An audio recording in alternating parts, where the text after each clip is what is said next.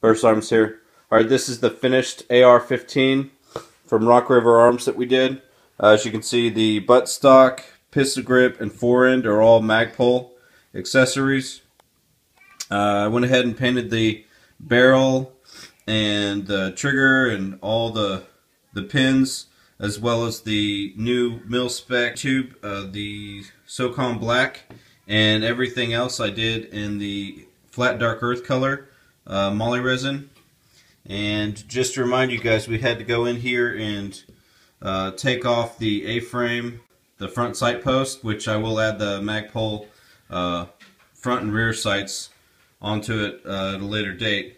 But then we, we had to put in the Yankee Hill low profile gas block uh, and then attach this uh, full length 13 inch free float quad rail in here. Alright, here it is, just a recap of the two builds that we did. Uh, the first one is the Remington 870 pump action shotgun. It was originally the one with the wood stocks and the 28 inch barrel and we added the Magpul butt stock, the UTG 415 quad rail as well as the Burris Fastfire 2 and the forend of Magpul and FDE.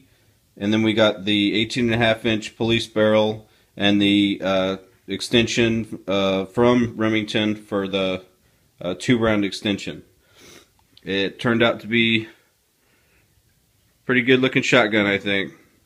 Alright, the second one was the Rock River Arms AR-15. Uh, it originally was all FDE and it had the traditional quad rail on um, the standard uh, length quad rail with the A-frame. And uh, we went ahead and added UTG's 415 quad rail that's uh, free floating that's the full length.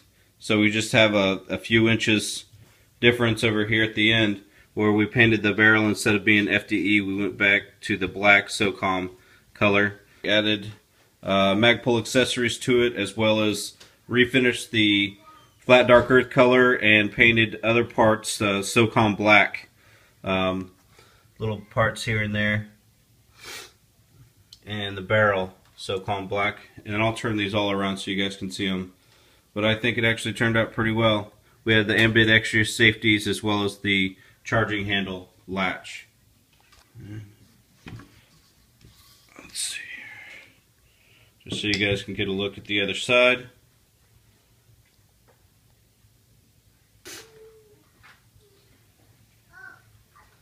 And we'll do the same thing for the Remington 870. There you